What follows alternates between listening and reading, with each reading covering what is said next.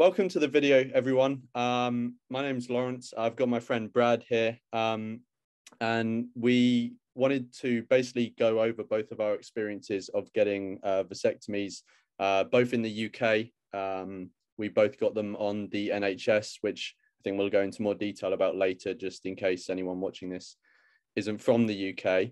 Um, but yeah, we we both wanted to sort of go over our experiences um, and talk about the process. It'll be applicable to other countries as well in a lot of cases, um, just so that if anyone else is considering uh, getting one, uh, they can at least you know watch a discussion between two people who have gone through the process, and you know maybe that'll help in, enlighten them on a few uh, questions that they may have.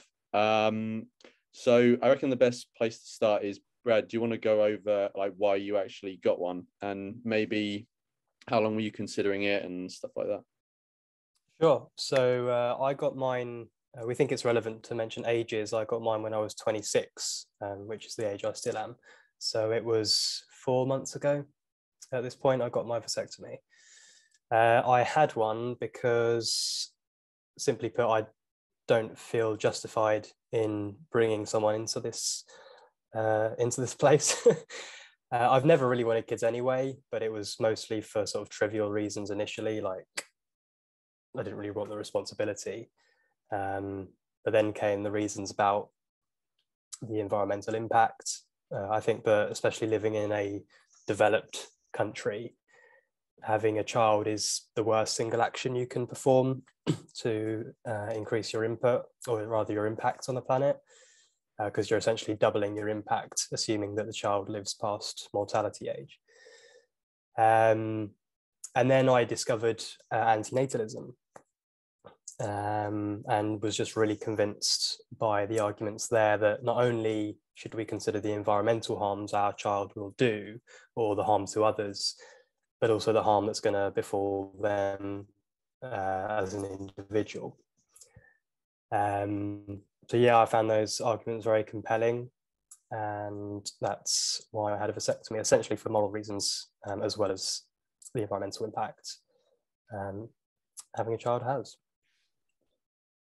Yeah, I can. Mine were my reasons were like very much similar to uh, Brad's. Um, mine was uh, yeah predominantly uh, the ethical reasons and then the sort of environmental and all other um, sort of confounding factors and one actually that i've sort of um, uh, recently sort of come to realize also just having read peter singer's book uh, the life you can save is also um, me having just one child is such an inefficient way of even if i saw it as something good it's just such an inefficient way of doing good in the world because all the time and resources you'd put into that one new person could go to helping so many other people that already exist. Um yeah so that was just a like a, a more recent addition to my reasons but um yeah before i actually i don't know how long yours was brad but before i actually uh got the op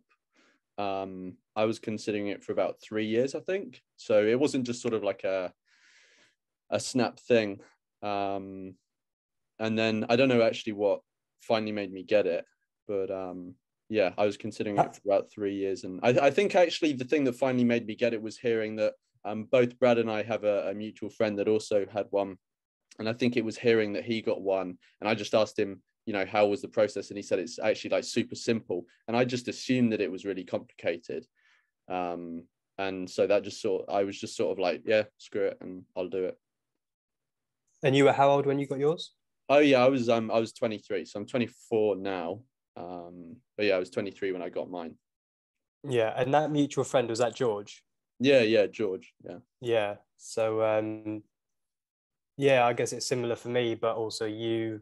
I think you getting yours, but especially at the age of 23, kind of bolstered my confidence that I wouldn't be uh, rejected on, upon appro- upon um, application. Yeah. I think that was that was my sort of assumption and why I never looked into it seriously. Um, but it was definitely something I'd thought about for a good couple of years, and I was quite, I was quite set on, or at least I decided it was the right thing to do. Mm. Yeah, yeah, yeah, yeah. That that that was like I'd been considering it for a while and knew I wanted one for at least maybe a year before um, I actually got it. But the whole, yeah, the whole thing that was blocking me was basic. Well, there was nothing blocking me really. It was just my own ignorance. I just assumed that it was going to be really difficult because of my age. And then I heard about George and um, yeah, but um, like I guess just just, next... on, just quickly on that, did you did you hold off at all because you were nervous about you know essentially having an operation on your on your genitals? Because um, I know um, I did I did for a little bit. I I, I remember yeah. saying to people, I know it's the right thing to do. I want it, but the thought of a scalpel, which it actually is not used anymore. Yeah. Uh, I, I thought the thought of a scalpel near my bollocks was you know terrifying. Yeah. yeah. Um, but uh, yeah, it turns out that scalpel use is actually very un, very kind of uncommon nowadays, especially in the UK. That might vary from country to country um, in terms of the actual technique used. Yeah, so for me, in terms of the like considerations about, you know, being sort of like nervous and stuff like that, um, I was slightly. I can't remember fully if it did make me delay significantly. I think, um, I think I'd spoken to George and was already pretty certain that I was going to do it because in in my head, and you know maybe this was just me being a bit sort of naive, but in my head I was just sort of thought, you know, it's it's better to get this with the risk that there is of um, or you know the sort of the small hardship i would have to go through for you know however long the operation um, is for the benefits of having pretty significant peace of mind afterwards. Um, so it didn't put me off too much. And then i actually saw a um, a post by i don't know if you know vegan space scientist michael um, lives in australia. heard of the name yeah. Yeah so he um I, I'm not sure if he actually ended up getting one, but he actually, around the time I was considering it, he put up a Facebook post um, saying, I am going to get a vasectomy later this year. Um, this is a Facebook post. Um, if anyone wants to try and dissuade me, please reply to this Facebook post or send me a message or, or whatever. Um, and and at the bottom of that Facebook post, he said the the small consideration that I have for not getting one is the fact that you know there may be complications and I might be left with some sort of lasting pain or something like that. Um, so I had a bit of like back and forth with him about that, and like ended up like concluding that it, it it's a it's a really small risk, especially with the modern technology that we've got now, um, mm. with the no scalpel um, procedure and so yeah it didn't really deter me that much. And you know every, everyone thinks that oh, i'm going to be the one that it goes wrong for and yeah. you know you you hardly ever end up being that person. Exactly. Um yeah maybe the next thing we can go on to is um before we actually go into the whole process itself is uh like reactions and like how it, it depends on who you are, I guess. But like, if you told anyone that you were going to get one before you got it, and like how they reacted, if you want to share any of that. I told a handful of friends um, beforehand, and no one was especially surprised because those close friends kind of knew my knew my thoughts on the topic and had done for a while. Um, I think there was maybe a bit of surprise that I'd actually gone ahead with it, um, but not like any sort of negative reaction at all. I did decide to withhold that information from my family until after I'd had the operation. And that was just because I knew they'd, if they knew beforehand, they'd, they'd probably like worry about the procedure and get stressed out about it and probably stress me out. Um, so I didn't tell my parents until afterwards. Um, and again, they they were surprised that I went ahead with it, but not surprised that I decided to have it. If that makes sense. Yeah. Yeah, um, yeah a little bit of shock, and I was a bit worried they were going to be a little bit upset to know that they definitely won't have at least biological grandchildren, but that didn't seem the case. They did they did know my thoughts on the topic to some degree anyway. Um, but yeah, I'm glad I waited I'm glad I waited until after the operation to tell my parents. Um, yeah. yeah, no, no, like bad reactions from anyone at all. Um, I, made, I made a Facebook post about it a couple of days after, and there was a lot of sort of positive responses and, and even a lot of people saying congratulations, which at first I thought was a bit weird, but then I thought, well, it is the antithesis of having a baby and yeah, it was my choice. So why the fuck not, you know, congratulate that? It was quite nice, really. Yeah, yeah, yeah. Yeah. So um, for me, I think I told um, I at that point in time, uh, I was helping um, set up a, a, like antinatalist organization. So I was um, in like regular contact with the people that I was doing that with, like daily. So obviously, I was like bouncing stuff on there off off of them the whole the whole time. Um, so so they knew. Um, but apart from them, I think I might have only told a few other people. I think I did. I, I can't remember if I told you before I got it. Did I? I think I, I know George. I can't remember. I'd been talking to. There was one other person that knew, um, and then and then maybe you. But it was it was like you. It was a limited, like number of people. Um, and then I chose to tell my family before, because I don't really know what to pin it down on. I think one, I just didn't want to be seen as sort of, you know, doing it behind their back, even though I don't think it is doing it behind their back. And I don't think anyone else who didn't tell them before was doing it behind anyone's back. Um, but I just wanted to avoid it being perceived that way.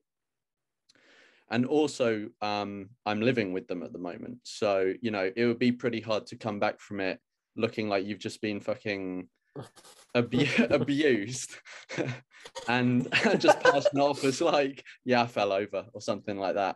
Yeah. Um, uh, yeah. So I get that in a practical sense. Like as you say, it would it would be a bit difficult to hide. But what, what do you mean about doing it behind their backs? Because technically, it's got nothing to do with them. Yeah, well, that's what I mean. Technically, it does, but I think, I mean, I don't know if it's our culture, if it's just human nature, but you know, people feel sort of like somewhat um, entitled to know things about their offspring, right? So if I was to move abroad, for example, do something significant like that, and I didn't tell my family until after I'd done it, they would probably react like, "Oh, what the fuck?" Like I thought, you know, that would be something that you'd tell me beforehand. Mm. It seems a bit weird you didn't. I know with this one, it's slightly, it's slightly more sensitive because it's like an ethical issue, and also it does have like an indirect impact on on them in terms of like you know they would have had expectations like I want biological grandkids and they're not going to get those anymore. Um, yeah. So yeah, I, I think it was just to like reduce awkwardness and, and friction and stuff like that. And the like um I uh I told them I think maybe a couple of weeks before I'd I'd gone I'd gone through most of the process apart from the actual operation. It was all booked in and I basically just um went to them and said, uh, "Look, I've come to come to tell you that I've like booked in a vasectomy. Um, I've not come here to sort of you know justify it or or ask any form of permission or any anything like that. Um, it's just to inform you about it."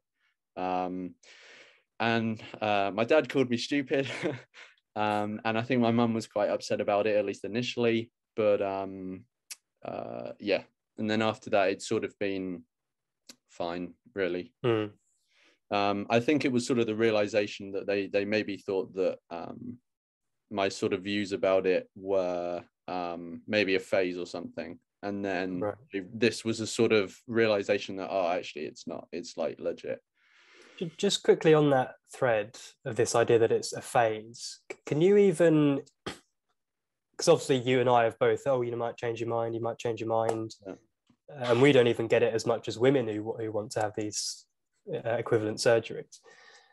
But can you even pretend to like imagine yourself in a situation where your mind has changed and you're like, oh, no, I was wrong. We are justified in procreating and exposing someone to all these dangers to satisfy our trivial desires to be a parent.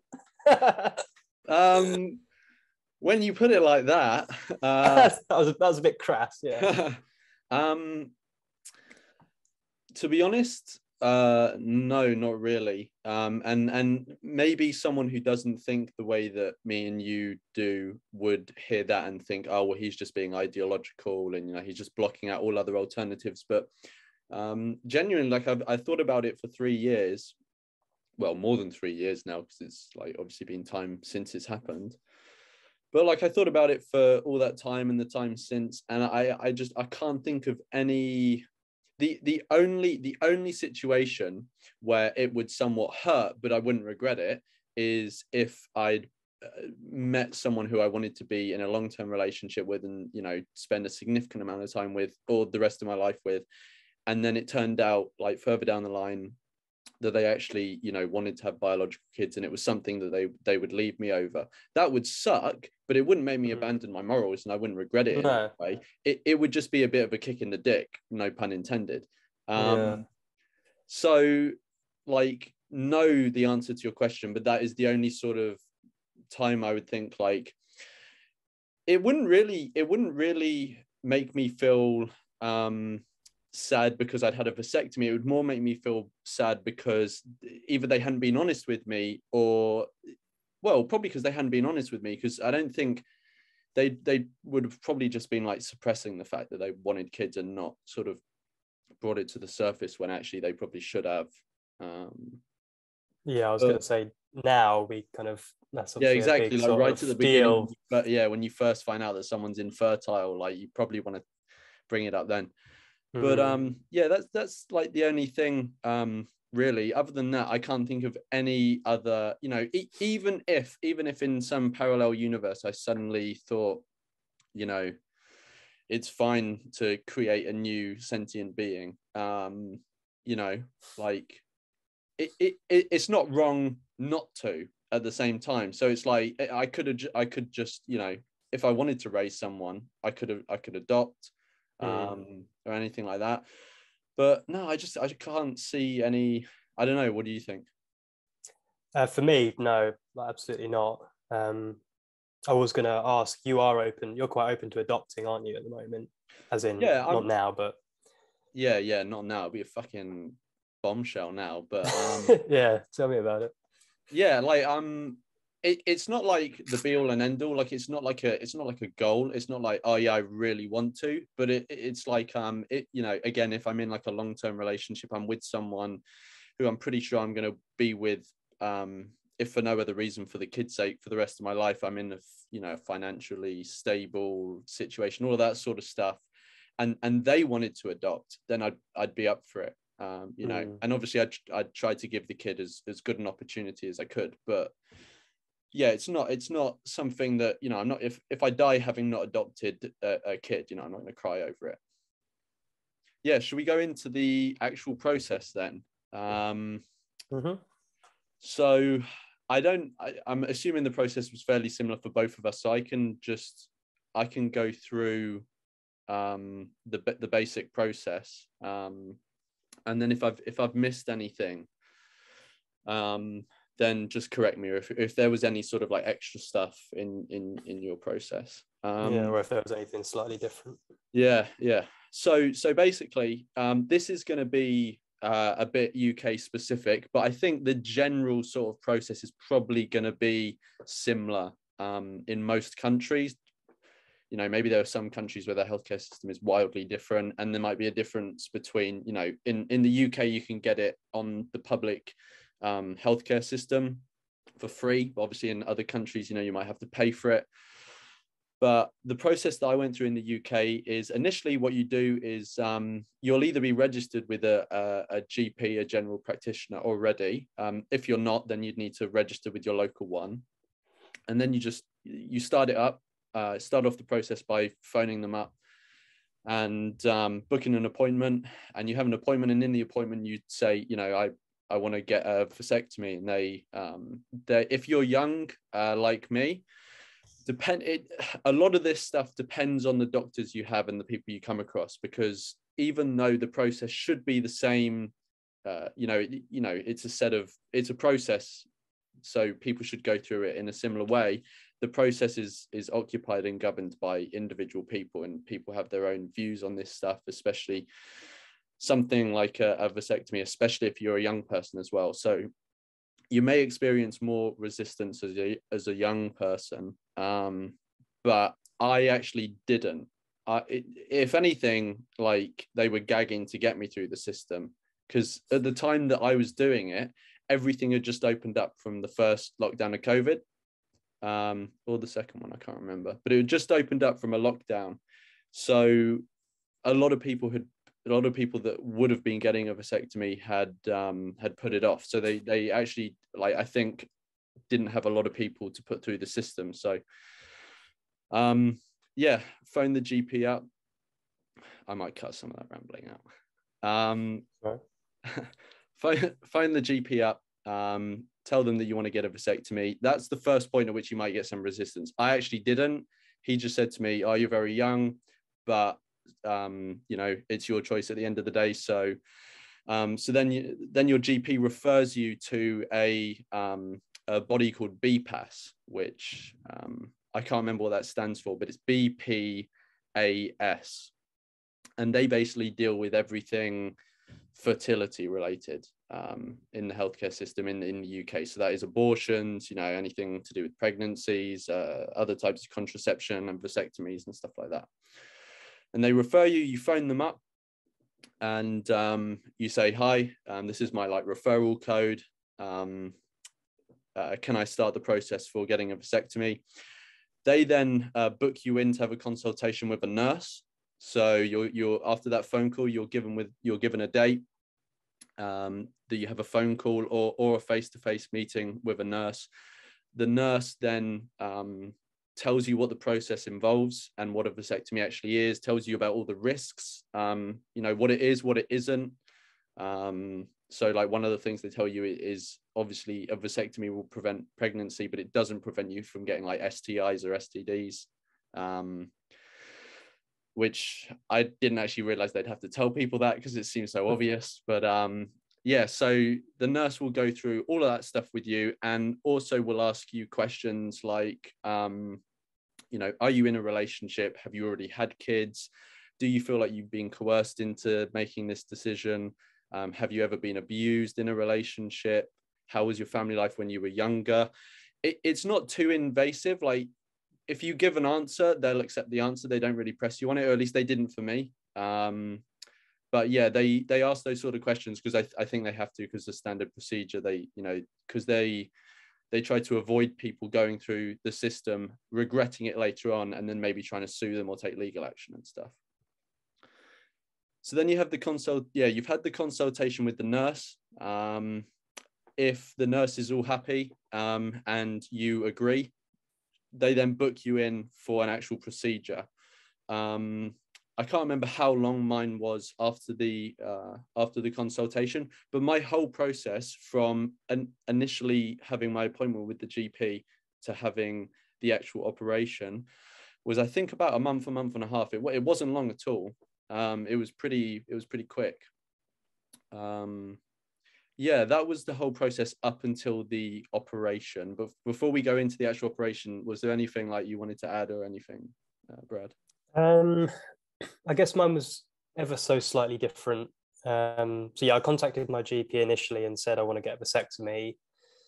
Um, they arranged a phone call with someone. I, I, can't remember if it was BPAS or a nurse or whatever, but it was just a sort of short five ten minute phone call.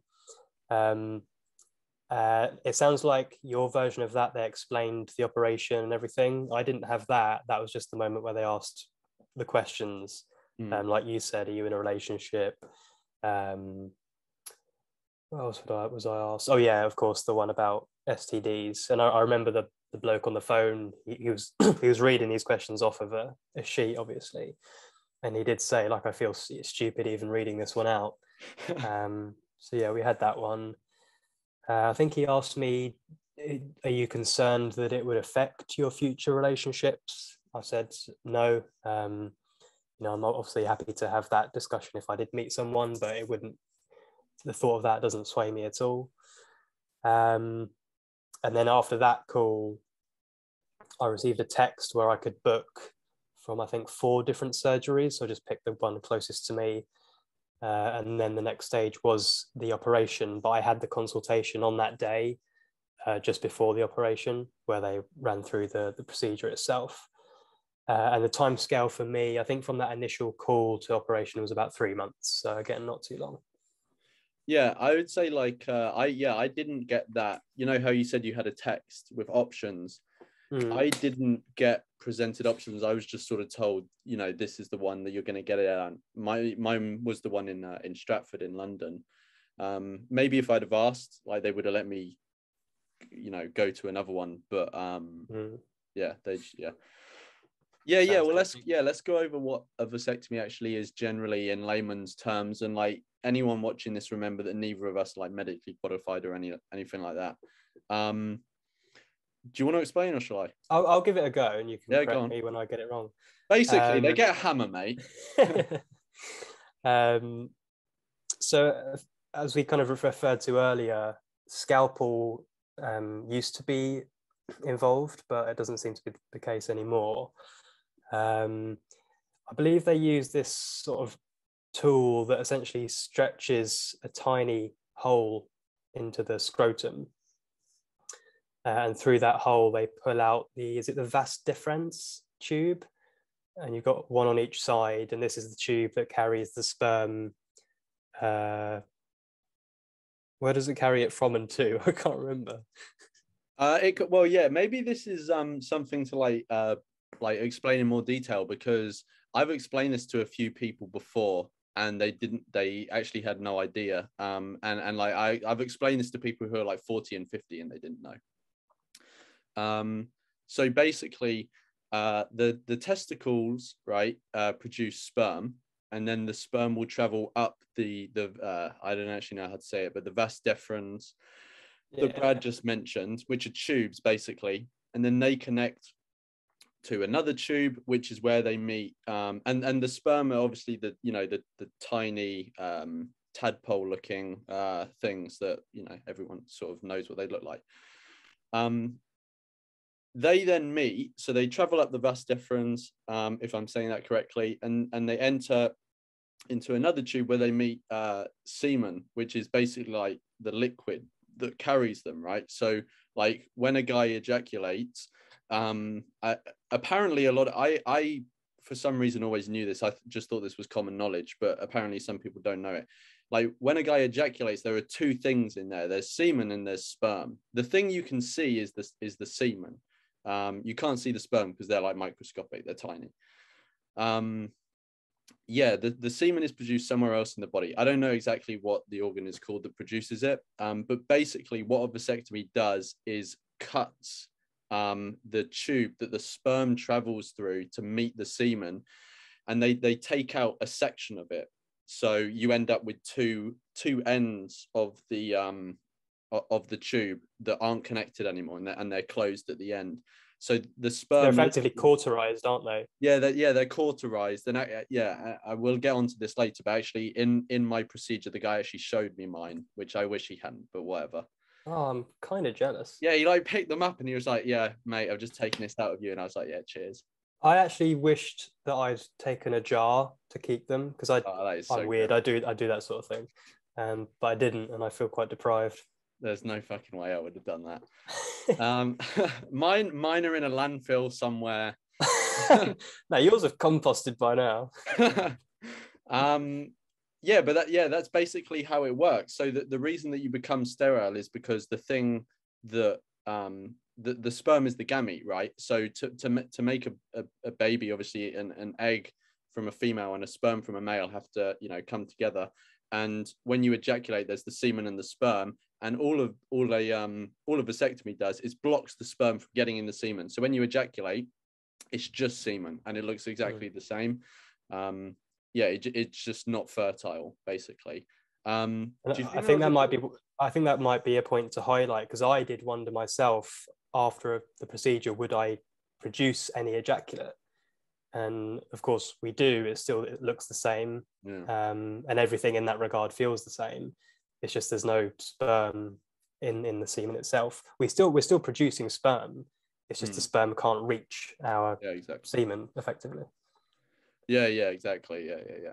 So yeah, maybe this is another thing to to highlight is there's no um there's no uh, impact or, or there shouldn't be any unless there's complications obviously you've always got to put that caveat but um, in theory and for the majority of people who go through the procedure there's no change in like sexual function um, or like visually everything looks the same it, it, it's just functionally like the stuff you ejaculate is is not gonna you know it's not gonna get anyone pregnant basically so um i'm just thinking is there anything else that we need to know need maybe to just like our experience on the day yeah go on then yeah yeah yeah so I, so I got a, fr- uh, a friend gave me a lift to the um, to the surgery because you don't want you don't really want to be unless it's literally around the corner. You don't really want to be walking or cycling afterwards. Uh, so yeah, my friend gave me a lift and then picked me up. Um, but yeah, on the way, I was pretty nervous. I was kind of having to focus on breathing. Um, but yeah, I, I, got to the surgery, had to fill out a little form, I think. Um, and then that was when I had the consultation. I mentioned. And um, again, I, I was kind of asked to reaffirm my reasons, and I was quite, quite uh, clear, quite, uh, quite strong on the point that I, I thought it was a bad thing to bring someone into this world, especially with the the climate crisis situation. Uh, and I think that was understood by the, by the doctor. The person who gave me the consultation was the one performing the surgery. Um, he did say that usually he had an assistant when he performed these, but it was only him on that day. Um, and the reason that that came up is because I actually asked him if I could wear headphones during the procedure and listen to music to kind of put my mind at ease. And he said, if I had my assistant, then yes. Um, but because it's just us two, I want to be able to talk to you to see how you're doing. Um, ideally, not. So, yeah, that was just kind of something I, I thought to ask. Um, but yeah, then we went to the the surgery room. He got me to lay down on the the kind of not table, but you know the long chair thing. Uh, pull my pants down. I had to cover my my penis with a piece of paper or something. Um, and then he got to work, and yeah, we were just kind of. He was obviously sort of trying to engage me in conversation to keep my mind elsewhere. Um, and I was I was nervous. I was kind of looking up at this up at the up at the ceiling, and I had my hands sort of on my forehead, and I was feeling quite sweaty because it's just the idea of someone doing that to yeah, you know yeah. a very a very kind of sensitive area. But I think it took between ten and fifteen minutes, um, and I I remember like afterwards I was sort of a little bit emotional when I was like saying something like genuinely thank you so much because um, it's obviously. Oh, so you mean emotional because it's finally done rather than you were nervous? Uh, at that point, yeah. Afterwards, yeah. Uh, and I don't mind showing this. I did actually cry when I got home. Uh, oh, really? I don't cry. Yeah, I don't cry often at all. Um, but I think it was just, I think it was a mixture of of relief, but also recognizing the gravity of what I I just done. Hmm. Like you know, it's a fucking big deal. Um, so yeah, I did. Uh, I did have a little cry, but uh, a, a, good cry, not a sort of any regretful at all. Yeah, exactly. Yeah, so like I won't go through all of mine because like I'll just be repeating what you said, but like there are a couple differences with mine. So on the day when I turned up, I was the only person there. It was just me and and the staff. I didn't see same come in. Yeah, yeah, yeah. I, I maybe that was to do with COVID. I don't know. Um, so maybe they had like reduced capacity. But yeah, I arrived. I was waiting for maybe like 20 minutes. Um, I didn't have the consultation on the day, so that was like a difference. I had mine previous or prior to that. Um, I got taken into a side room by um, I don't know what she was, if she was a doctor or a nurse or, or whatever, but um, this uh, this like health professional and um, she just asked me a couple questions like you know are you sure about this etc etc got me to sign a form as well um, which i can't remember what it was but i think it's it was probably something along the lines of like are you going to you're not going to sue us and stuff like this and you you know recognize that this is a big deal and you're definitely sure and all that sort of stuff mm-hmm. um yeah and then when i signed that she was like right well you can come to and we can start i went into this um yeah room where there was the the lying down chair thing. And then the other difference with yours was that um the surgeon that i had did have an assistant um on the day. Um but i didn't realize that i would have been able to listen to music then which i probably would have benefited from. Because they kept on trying it, to it might depend on the doctor but yeah. Yeah yeah yeah. Um but uh yeah um uh, yeah, the doctor and the the assistant were like talking to me the whole way through. I think she was actually like training to be able to do it. Um, so uh, when he was doing it, he was like sort of telling her exact everything that um what that he was doing. You know, he was like, "Oh, now you know I'm yanking this, and now I'm punching." No, I'm joking. um, yeah, and uh, and another thing to just like to highlight on before um, that I mentioned that what happens to you during the process can depend on the person you get. So the the the the surgeon that that um, did my op, he was saying that he like the, the vast majority of his patients come to him as, as like a second, third, fourth, fifth resort. Um, because the initial doctor or doctors they'd gone to refused to do the surgery because he was saying that there's only a few um, surgeons in the UK that will operate on people that were as young as me. I don't know if like because you were 26, I don't know if that still counts as like really young or whatever. But he mm. was saying that especially a 23 year old, um, like the majority of people who do vasectomies wouldn't have done it. And so he says he gets quite a, a, a large proportion of young people to him, um, either because they've heard that he will give them or they just end up filtering down to him because everyone else has rejected um, them. Did um, he did he say like why he is happy to do it when others aren't? Yeah, because he he just said as far as he's concerned, it's it's the person's decision. If they want to do that, they they you know it's up to them. They're the one that's going to live with the consequences. As as long as they sign a form that says that uh, you know he's not going to be held responsible. Um, then then he's he's happy to do it. Um, as as far as I can remember, that that's what he said. Um, yeah, but apart from that, like through mine, yeah, they were just talking to me the whole time, asking me questions like what I do for work, stuff like that. I had a nervous laugh, so I just kept on laughing at random shit throughout the whole thing. Um, I don't know if you want to go into just so we are like being real with um, everyone who's listening and like considering getting one. Um, did you feel any pain at all while you were like during the operation? Uh, no, I did feel. None at all. It, no, oh. um, I, I did feel the initial. Um, we should have mentioned. Maybe, maybe it's obvious. So these are done under local anaesthetic. Yeah, so you don't um, get put so, to sleep. No. Yeah. Uh, so both Lawrence and I had an injection of anaesthetic into our scrotum right? Is that what you had? yeah, I think just... so. I mean, I, I, wasn't looking down okay. there when they were doing it, but I'm assuming that's right. they injected. That's what it fucking okay. felt like that.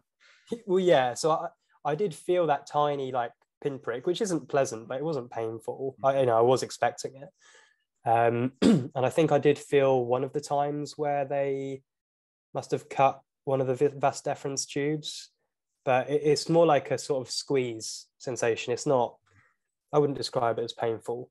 Yeah. Uh, so no, the whole procedure for me was completely pain free. Um, obviously, I was because I was like so worked up and sweating and nervous. There was a level of adrenaline which might have helped me through it. Mm. But uh, yeah, I can't say I felt any pain. Yeah, for me, I felt a bit of pain, nothing unbearable, like at all. It was all everything that uh like happened was bearable but at the start when they first like injected me with the anesthetic that did it it was like a sharp pain and it was sharper than i thought it was going to be because i i assumed it would be the same as like um if you were uh, it was basically the same as if you were giving blood if you've ever given blood and they've you know put the um the needle in, into your vein it was basically the same sort of pain for me um, just in a different place. Um, and then after that, it just felt like you were being fondled, basically. Or like like manhandled. I don't know if fondled is the right word, but it just it just felt like someone was having a rummage down there, and and that was basically it. Um, But not in a pleasant way, right? no, no, not in a pleasant way. It wasn't like I was going ooh ah. Like, yeah. um yeah yeah and then like yeah like you were saying like when they cut so that the first Vastefron if that is how you say it the first one they cut didn't feel a thing didn't even realize they'd done it like he he he said oh yeah now i'm moving on to the second one. And i thought he'd only just started on the first one. So it can be really quick. Like mine was over in 10 15 minutes as well. Um yeah the second one i did feel it a, a slight bit but again nothing unbearable. Again it was just uh, like you were sort of giving blood that sort of level of pain. Um yeah and maybe another thing to mention just just if anyone cares like your your knob is covered the whole time. Um like if anyone is sensitive about that like they you know they they try to keep as much of your dignity in, intact as possible luckily for me i didn't have any when i walked in there hey. Yeah. um yeah apart from that so what what happened for you immediately post-op Um, so as I said, yeah, I kind of got kind of sat up, uh, pulled my pants up, uh, and that's when I kind of said to him, like, you know, just thank you so much. Um, then I had to go back down into the waiting room and fill out a little feedback form. Um, oh did you not get taken into a side room and given like biscuits and a drink no, oh did you? oh right yeah yeah so Oh, When- fucking hell. yeah yeah so when it had finished um to go and give him a, a four star review instead of a five. so um yeah when it when it first finished he was like yeah pull your pants up um and then took me into another room. Well, the the the woman who initially got me to sign the form she then came back and took me into the other room um and then uh sort of left me on my own for maybe a, like a couple of minutes with with some biscuits and, and a and a drink um and um yeah i th- i think i don't know if they do that on purpose for you to sort of like absorb what has just happened or whatever. But then um yeah she she came back she gave me like a booklet. I'm assuming you got the booklet as well and she taught Mhm. me through the booklet and she taught me through what i had to do post op with all the um you know like how many times you have to ejaculate and stuff like that. And i was maybe in there for like another 10 15 minutes and then i could go. Um and then i got a lift uh back uh from a friend came and picked me up in the car and and and took me back. Um Yeah, Yeah. so I, I got a lift home as well. I kind of joked with my friend that I was going to come out with a cone around my head, like the dogs do, um, but I didn't. Um, but yeah that that that's the thing like if anyone's going through this process the the the people who are guiding you through the process will tell you this but definitely get organize a lift back even if it's just a taxi um but yeah d- don't don't be thinking like oh yeah i'm gonna be the brave guy who's gonna you know cycle home or, or whatever mm, just like you know that like hopefully for you unless it fails and it only fails in rare cases but if it does fail and you have to go through it again um unless that happens you only have to go through this once and recover once. So don't be an idiot and and you know run a marathon the next day and just like ruin your recovery. Yeah. um but yeah Do we want to talk about recovery now or the kind of, you know, ejaculating and well, like let's that? let's do let's do both at the same time like post op sort of like stuff you have to do and also recovery do, do you want to go first or shall i go or what Um, I'll go first. Yeah. So the post-op instructions. Uh, so, so basically, after the vasectomy, you you should you're told you should still act as if you are fertile because you don't actually know that it's worked just yet, and that's because even after the procedure, you've still got semen hanging around the tubes. Um, so I think it was a little bit different between the both of us, but I was told I should ejaculate at least 40, 40 times over the next 16 weeks, um, which is an average of two and a half a week. Not that I've done the math. Um, which for some people which for some people that's effort and for some people that's a walk in the park yeah, and that's all we'll say on the matter. Um, but um, yeah, so I was told 40 ejaculations over 16 weeks. And then after that, I would then send a sample um, to be tested for the presence of semen. Uh, and then I would be told essentially whether it worked or not. Uh, now, ironically, today is actually the cutoff for me to send my, or like I can now send a sample. Uh, I'm actually halfway through isolating after testing positive with COVID. So I'm not going to be able to send it off until the weekend or, or maybe next week, unfortunately. Um, so I'm hoping to find out next month, February, whether whether mine's worked or not. Um, what, what was your post-op instructions in that sense? Yeah, I can't remember the exact time frame, um, but uh, I remember I had I had my op at the end of February, like February the twenty fifth or something, and the date earliest that I could give the sample was like mid May, so um, March April. So it's about three months, uh, around mm. three months, and I had to do it uh 20 times. I'm pretty sure. Yeah, twenty times. So when you told me you were doing it forty times, um, yeah, I was I was surprised. I I don't know if there is a specific reason for that or just different places recommend different things um, mm. or different amounts or whatever. But um, yeah. Um, and then I guess shall I talk about sending off the sample because you haven't actually done that bit yet? Yeah. Yeah. So you're yeah. So like we were both saying, you'll be told um, uh, you know, you have to ejaculate X amount of times, which, as Brad said, is because even though they've stopped new sperm going through the tubes that connects with the semen, there still may be sperm lying around in the tubes that could get into the semen, even if it's not new sperm. So basically, you ejaculate the number of times you need to, then you have to ejaculate an extra time. You have to, they'll give you like a, a, a, test tube or whatever it's called. Can I get mine out? Because I've still got it. Yeah, yeah, yeah. Go on. Yeah, yeah. Show. Yeah, show. Um, test tube that is. Yeah.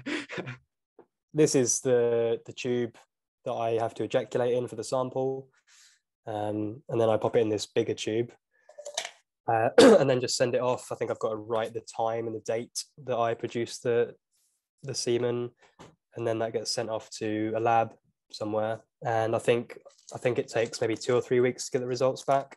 Hmm. Um, so yeah.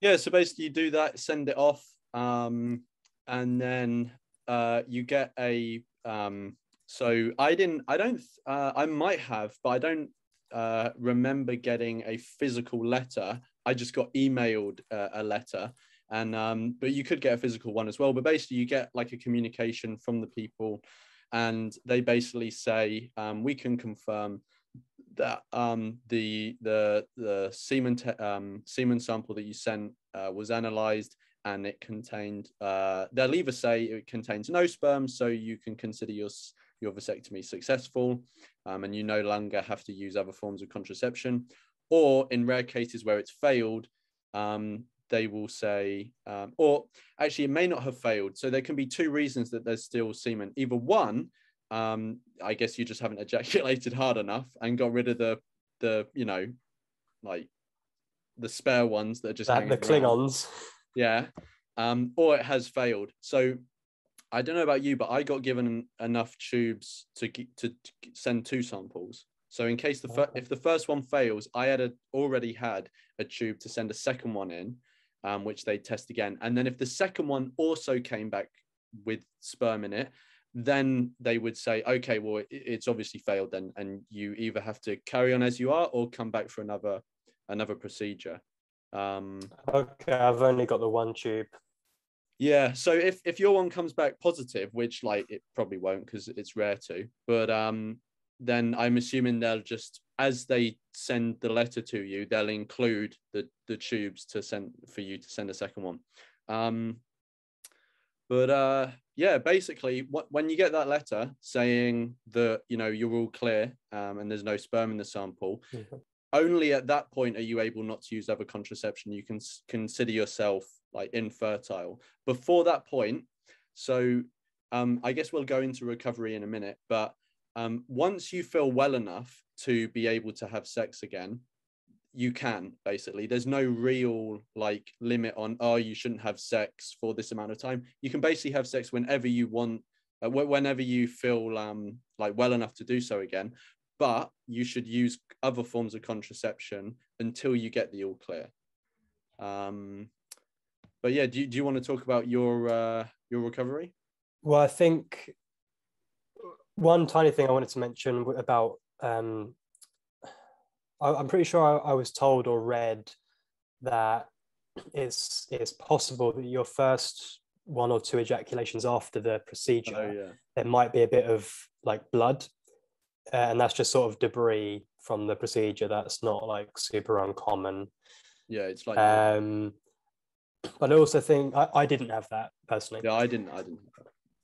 Um but i also think it's a good time to mention that say you get the all clear and it's worked and you can go ahead without using any contraception there is very rare cases a few years down the line of your body kind of repairing itself uh, so that you become fertile again. And this kind of terrified me to be honest because i thought fucking hell even a vasectomy is not 100% even once you've got the all clear um, so i think hopefully when i you know get the all clear I think just so I'm extra um, confident, I will maybe do like a sperm sample once a year. Uh, I don't actually know how I'll go about doing that. It'll probably have to be a private clinic. clinic I I, I actually looked into it and I got a couple of links. I'll send you afterwards. Oh, cool. I can include in the description as well. Hmm. Um, but yeah, I just thought that was worth mentioning because I had this assumption that once it's done, it's done, and but uh, not necessarily um, which is a bit annoying. Yeah, but, but again, super, super rare. Yeah, it's it's super rare. Um, and uh, yeah, it yeah, it's better to be safe than sound. So I guess like I'm I'm probably gonna once a year just send a sample off. You know, e- even if it costs you know like what like I don't know a bit of money, um, mm. just to be like uh, safe than sorry. Um, did you have anything else to add, or did you want to go on to recovery? No, recovery is good. Sick. Um, shall I start this one? Yeah. So what I got told in that when when I got taken into that next room for 15 minutes and like debriefed or, or, or briefed about like post-op stuff, I was told um, don't do any, you know, sort of intense exercise or heavy lifting for two weeks. Um, uh, you like when you when you leave the clinic, you'll have like bandages uh, like around your testicles, um, and uh, you should leave those. Well, this is what I was told. I was told leave them on for 24 hours. Once 24 hours is is up, then you can wash, have a shower or, a bath or, or whatever you want to have. Um, you were told you could have a bath. Okay, maybe not. I can't remember that. I, I, in I the back of told, my, in the back of my mind, I think to, I was actually told not to. Yeah. Yeah, I, I was told not to submerge myself in water for I think at least maybe ten days. Okay, okay, yeah. Scratch the bath bit. So, so showers shower. only. Yeah, yeah, yeah. Shower. Um, once you've done that, then they give you, or like I got given a second pair of bandage stuff, so I could bandage it again. Um, and then once those bandages were done with, um, then I didn't need them anymore. Um, and for me, um, so I was so for the for for about two three days afterwards, I was not really going anywhere. I was mostly just like sitting down. I was working at home from the time as well, so I was mostly sitting down regardless. Um, after about four or five days, I could go for a walk around the block, like around my local area, relatively normally. Um, after after a week, um, and you know, my memory might be might be a bit hazy, but after about a week, I could walk like normally, and no one would you know know anything was up with me. Um, and then I, I, after after sort of two two and a half weeks, um, I could do sort of like light exercise again. So maybe go for a jog or something like that. But again, I was wearing um, I got these things that George actually recommended me them uh, compression shorts.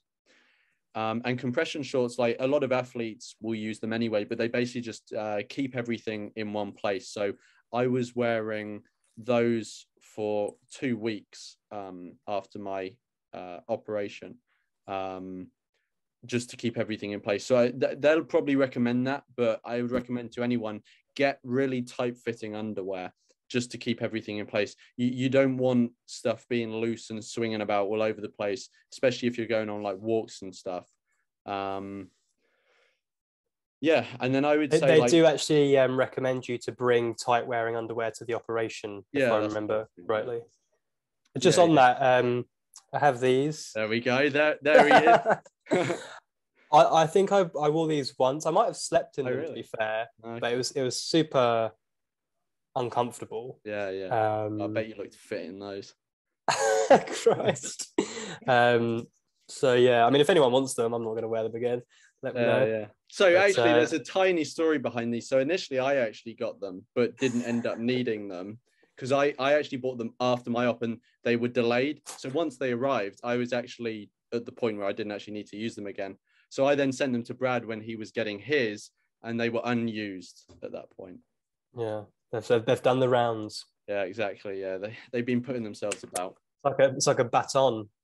Yeah. Who's, who's next? yeah exactly we should get them framed or something um yeah so yeah that was basically it and then after three weeks i was i was basically back um uh to doing you know I, I would go on runs and stuff like that um and do exercise um i occasionally um if i would like sit down funny and and like you know squash something or if i was doing something that was particularly like jumping up and down or something like that occasionally for a time after i would feel a slight twinge but um after like after like a month that it it's completely back to normal. And i think that i think that was everything worth mentioning for my recovery really. It's just don't don't be dumb don't move around a bit listen you know to i mean it sounds kind of wanky but listen to like your body um and and that's basically it try eat healthy as well Mm.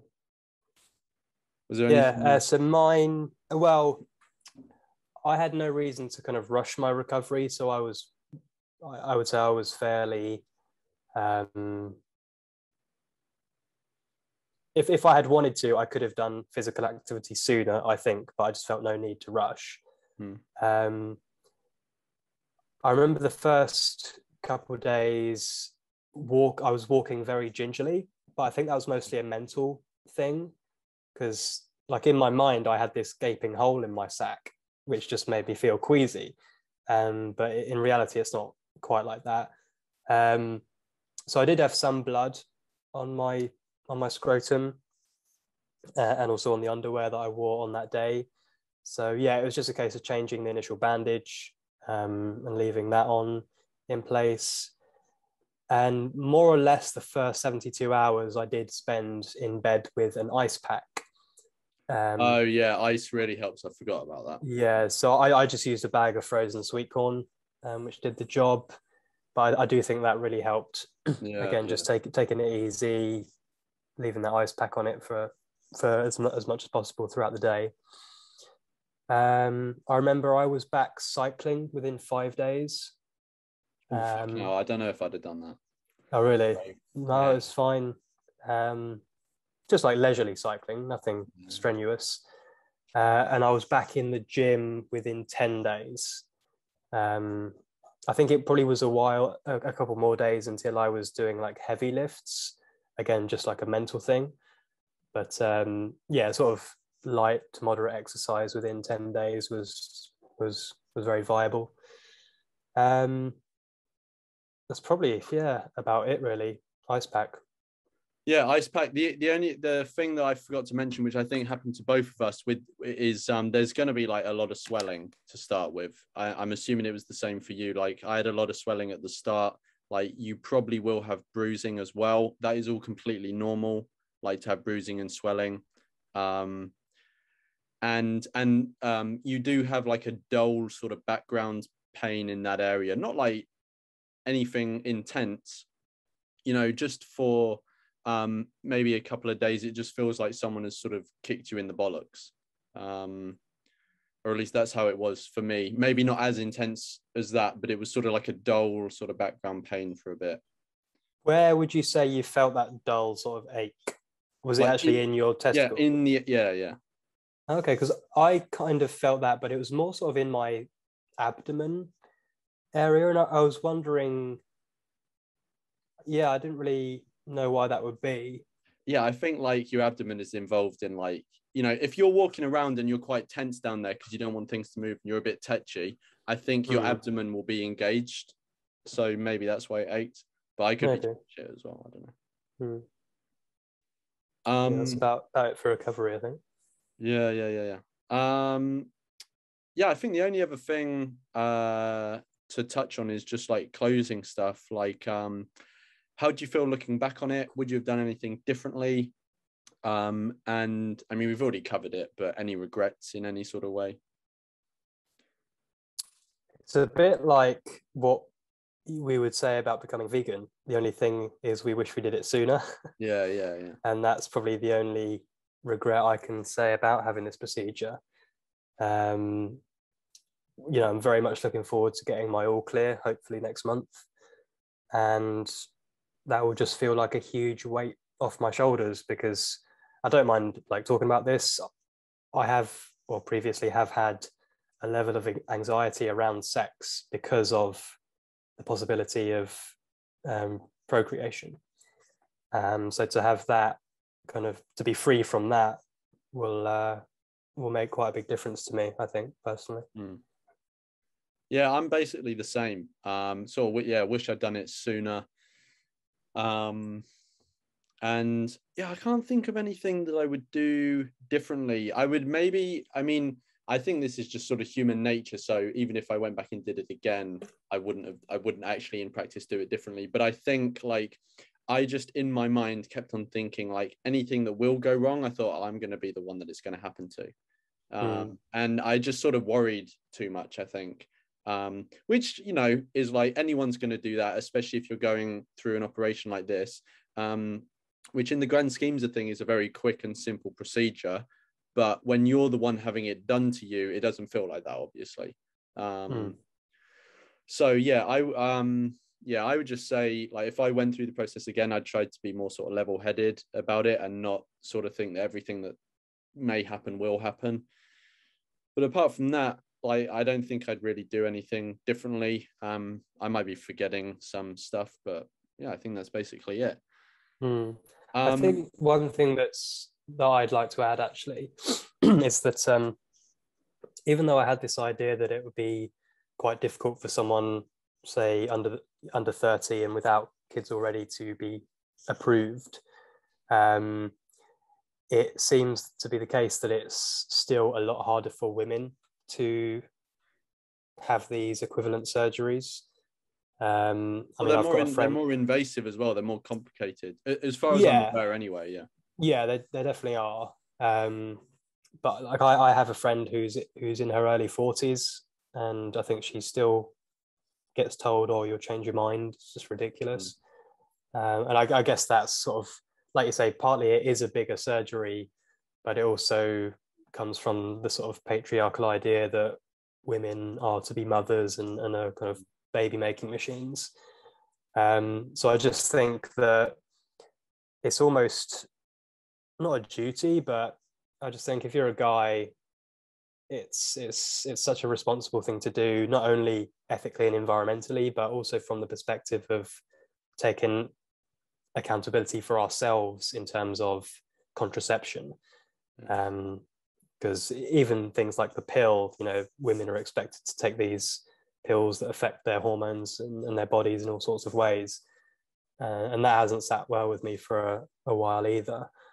Mm. Um, but yeah, I just think that's kind of worth worth mentioning as maybe a bit of extra encouragement if anyone is considering this. Yeah, yeah. No, that's definitely a good point. Um, do you have anything else to add before we close off? Um, not really. I mean, may, if if anyone enjoyed this conversation, then you might enjoy a video that I've got. It's not my video, but my friend Jeremy, uh, his channel on YouTube is Jeremy the Ape, and him and I had a discussion about veganism and antinat- antinatalism and kind of how the two are linked in some ways. Um, so feel free to check that one out if you enjoyed this one. Yeah, I'll link that in the description. And actually, I can't believe I forgot it. And I don't know if you watched it actually. And like, even though you've gone through the process, um, I would recommend you watching this video actually, because if nothing else, it's just quite interesting. But there's a guy in Australia, and I actually found this video from Michael, vegan space scientist. It's a guy in Australia who went through the whole process. He was super young, um, getting a vasectomy in Australia, and he received a lot of resistance and found it quite difficult. But he documented the whole process, and it's quite an old video. I'm not even sure it's on YouTube. I think it's uh, on uh, Facebook. It might be on YouTube as well, but I watched it on Facebook.